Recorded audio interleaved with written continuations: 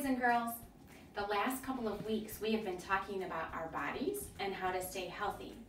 We also shared some books this week about germs and what they are and how they make us feel sick.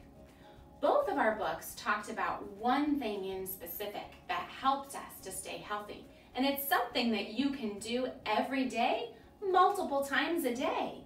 What do you think that is? Hmm, I'll give you a clue. What room am I in? Am I in the bedroom? No.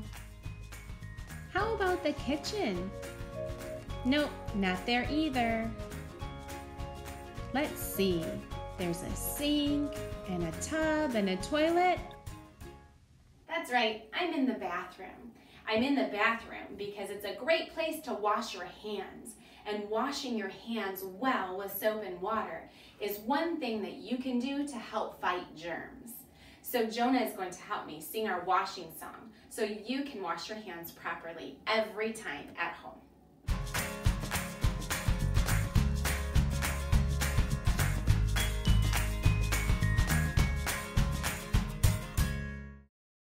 Are you ready to help our friends learn how to wash their hands properly? Yeah. Okay, so what's the first thing that we need to do?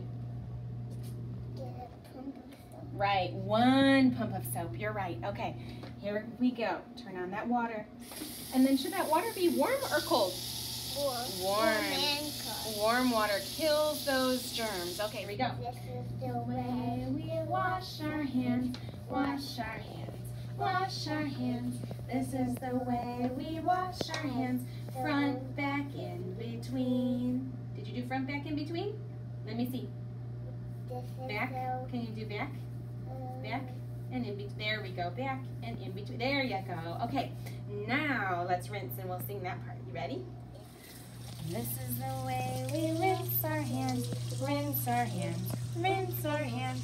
This is the way we rinse our hands so we can get them clean. Nice job. Okay, so now that you're rinsed, what are you gonna do? Six seconds dry. Shake, shake, and dry. Here you go.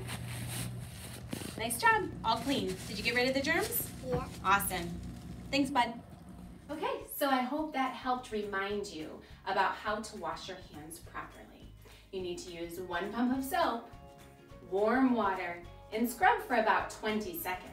So you can either count to 20 or you can sing our washing song just like we did.